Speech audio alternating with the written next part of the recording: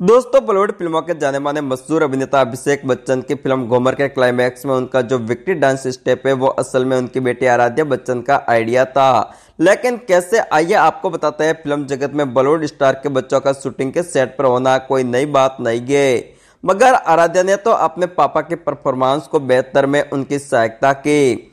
Film में अभिषेक बच्चन एक cricketer गुरु की भूमिका निभा रही है, जो एक युवा खिलाड़ी को ट्रेन करता है। दोस्तों, वहीं इस यंग क्रिकेट का किरदार फ़िल्म में श्यामी खेर निभा रही है। फ़िल्म की कहानी एक ऐसे क्रिकेटर के बारे में है, जिसने अपना दया हाथ खो दिया। फ़िल्म के क्लाइमैक्स में अभिषेक बच्चन जितने पर विक्टी डांस करते दिखाई देते हैं।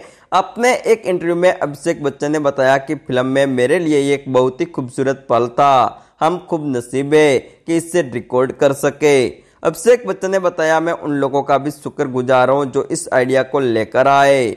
इस डांस की प्रेरणा अभिषेक बच्चन को कहाँ से मिली, इसके बारे में बताने के लिए डायरेक्टर ने पहले तो एक्टर की इजाज़त ली। फिर बताया अभिषेक बच्चन अपनी बेटी आराध्या बच्चन से बात कर रहे थे और उन्हें बता रहे थे कि ये फ़िल्म का अंत है। तब आराध्या ने कहा कि क्यों ना आप अंत में थोड़ा सा घूमर करें और फिर चुपचाप वहाँ से निकल जाए। फ़िल्म निर्माता ने फ़िल्म के उस सीन और उस पल का क्रेडिट आराध्या बच्चन को दिया। दोस्तों, नन्ही आराध्या की प्रशंसा करते हुए कहा कि यह आराध्या का पहला आइडिया था। एक बच्ची के लिए ऐसा विचार देना और चीज़ों को समझना बहुत ही गहराई और प्यार माँगता है। और मैं उससे इसके लिए बहुत ही शुक्रिया अदा करना चाहता हूँ।